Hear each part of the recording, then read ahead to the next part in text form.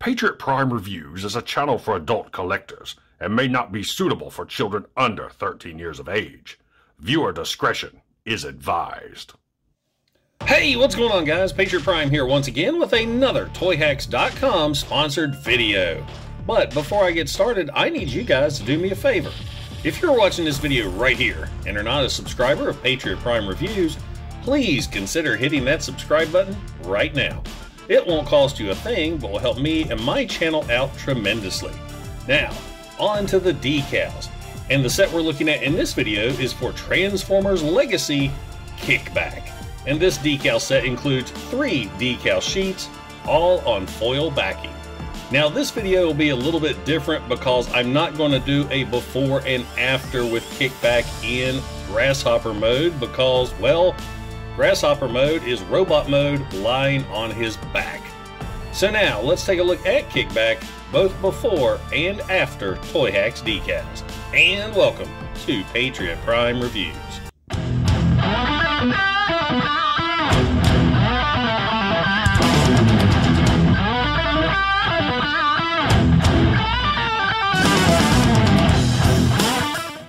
In robot mode, straight out of the packaging, Kickback looks awesome. I've said this multiple times on social media. Legacy Kickback is so G1 it hurts. He's almost spot on to the original Generation 1 toy. Now taking a closer look at the figure, we'll start here with the head sculpt. I love the head sculpt. It looks awesome. Very cartoon accurate. He's got a silver forehead, silver face, and those evil red visors yellow antenna. He's got these big, tall, translucent wings that kind of have the bug look to them, insect wing look. Now, at first, I wasn't sure I was going to like the translucent wings because I hate translucent plastic, but they don't look too bad on kickback here. Moving on down to the chest, he's got a big purple Decepticon insignia right there, a little bit of green on the side of the chest, Moving on down to the legs, he's got yellow below the knees and red shins. And that's it for the paint applications. Now, as I said earlier, I'm not going to do a before and after with kickback in insect mode because really his insect mode is him just lying on his back. So there you go, guys. There is kickback before and after. Kickback gets quite a few new decals thanks to Toyhax that really enhance his G1 toy look. So taking a closer look at the figure, let's start with the wings. He gets these new chrome wing decals here and here, and little decals that go inside the hollowed out sections on top of the wings. You want to make it sure and put these on the outside of the wing because inside is where all the sculpted detail for the veins or bug detail, whatever that is. But what's cool is the silver actually shines through on the other sides. That looks really good. And I love the details on the chrome stickers because it's the same details on the Generation 1 toy. We're going to be doing a lot of comparisons with this guy.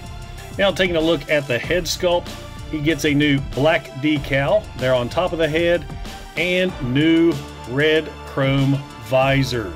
I love that. As I said earlier, moving back and forth, Actually, he looks like a Cylon. I said Knight Rider in my last review. He looks like a Cylon. I love that. There's new chrome decals right there for the shoulders. Once again, a nice callback to the original Generation 1 toy. New decals here for the little chest rectangle. That, once again, a great callback to the G1. Now, there was a decal that went right here on his chest it was a black decal with some details, but I left that off because I really like the Decepticon logo right here. Now I was hoping to put it on the side of his chest like the Generation 1 toy, but all the sculpted details just make that impossible. He gets new purple decals right there on the crotch, up here on the shoulder, red and blue decals, silver decal right there in the bicep, and some red decals right above the fist. Moving on down to the knees, new yellow decals here, red decals on the feet, along with a little silver and red decal. And word of warning, this is a three-parter. You got two sections for the foot and one section right there for the middle of the foot. And that's pretty much it for the front of the robot. Looking at the side here on the legs, lots of new decals right here that also add a nice G1 touch to the figure. And these are all separate. You have a long silver decal here, three different decals here, three different decals, the green decals that go in the circle inserts, and the silver on the outside. So I love the looks of Kickback now. Also, I always skip these. You get a bunch of pin covers, a bunch of black pin covers you can see up here on the shoulders, the back of the legs, turn the arm around here for inside the arm. I love that Toyhax is adding those now because I do not like those silver pins. Now, the only decal that you would see in grasshopper mode is right here underneath the foot. Fold these up, he gets this new silver and black decal right there. That's the only different decal you're going to see in grasshopper mode. So there you go guys, kickback. If I can get him to stand up, after. Toyhax once again did a fantastic job with their decal set for Legacy Kickback.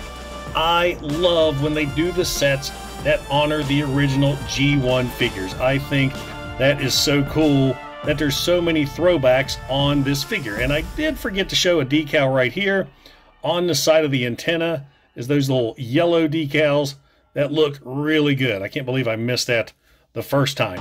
Now what really surprised me with this decal set is they didn't include an optional black visor. The original kickback had the black visor, where this one has the red. But I'll be honest, I would have picked the red anyway because that just looks so much better. So yeah guys, if you are a G1 enthusiast like me, I highly recommend this Toy Hack set if you have Legacy Kickback. Now guys, if you enjoyed the video, don't forget to like, don't forget to subscribe, and don't forget to click that bell icon to get notified when I upload new videos. Also, if you're in any position to help out the channel, I do have a new super thanks button, thanks to YouTube. I offer channel memberships, and I have to give a huge shout out to all my current channel members because it's your support that helps keep this channel growing. Once again, guys, this is Patriot Prime, signing out. Hooah!